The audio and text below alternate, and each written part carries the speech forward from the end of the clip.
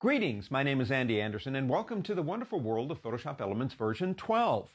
We're here to talk about an amazing application, the basics and essentials of getting you up and running. Now, how exactly are we going to do that? This is an essentials course, I've already mentioned that.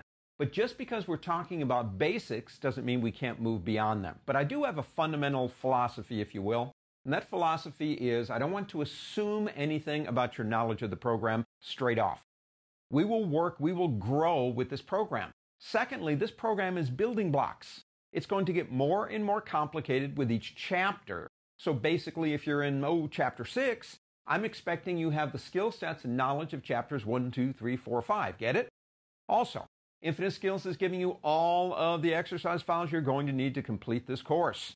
So I'll tell you what, you ready to get started? Let's go.